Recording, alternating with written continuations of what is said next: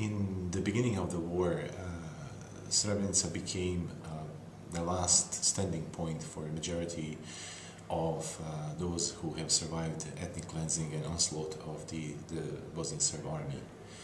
Um, they came there at, hoping that they will find refuge, but uh, when they arrived, they realized that um, the suffering continues and actually it has been much more greater than in the village uh, which they left. Um, and this situation continued uh, throughout the summer and the fall, and especially winter of 92 to 93. On top of everything else, the population felt that no one actually is able to reach out to them. They were uh, completely um, silenced. Uh, there were no reports coming about atrocities committed around Srebrenica. And, uh, and we really felt uh, as a, being a lonely island in the middle of uh, murky waters and, uh, and ocean. Uh,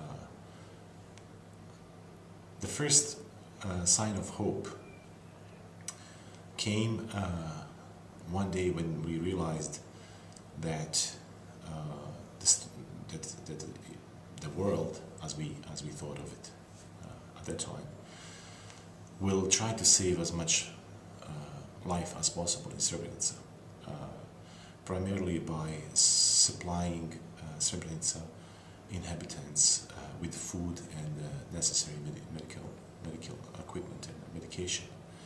Um, you know, in Srebrenica, up to that time, even the smallest injury meant death because of the blood poisoning or any other uh, minor injuries meant that uh, survivability was very, very low. And of course, people were starving to death as well.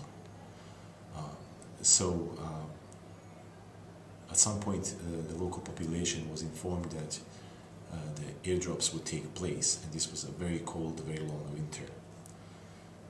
so they were hoping, you know, they, they, they dispersed throughout Srebrenica area on the hills around Srebrenica, hoping to be the lucky ones where these uh, airdrops will eventually, uh, the, the, the, food will eventually land. And, uh, you know, myself and everyone uh, from my neighborhood, uh, we went, uh, we took up in, to the hills, you know, walking all night long to reach a certain position. and then one night, I remember very well, I was the one that was at the, the right place at the right time, and uh, we could uh, we knew that the airplanes are coming because we could hear them. Uh, we couldn't see them because obviously they were flying very high. But the next uh, thing that happened is uh, you could hear after they fly over that area, you could hear this uh, sound of the parachutes opening, and if you before you know, you could see, you know, dozens, if not more, uh, large parcels, uh, of, you know, dropping from the sky. And obviously the, the military uh, who were using this, uh, they put flares around these parcels so people would know and they would not be crushed by them. Um, and I sometimes I used to tell that I that I, I for, for someone who was you know, at that time 17 uh, years old, to me it looked like the Christmas uh, tree uh, that was falling from the sky, carrying all these presents and having these shiny lights as a decoration. when the parachutes landed, people would jump on it and everyone just try to grab as much as, as they could possibly carry back to their families to, to us this uh, meant not only uh, you know necessary food uh, to keep us alive, sustain life of uh, our families, but it had a huge psychological uh, impact because we finally thought that we broke through.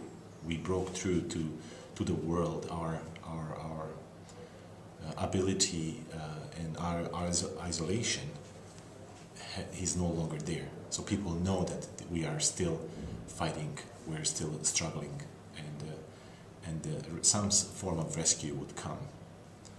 Um, you know, weeks after uh, after these first uh, airdrops were made, um, Srebrenica was visited by the United Nations, and uh, I was very surprised to meet one of the individuals who was part of the, you know, the delegation. He literally looked like like Sa- Santa Claus. He was a very big man uh, with a very long uh, white beard and very long white hair. Um, that turned out to be Larry, which uh, has been in charge of the UNHCR uh, uh, food distribution efforts throughout Bosnia and Herzegovina.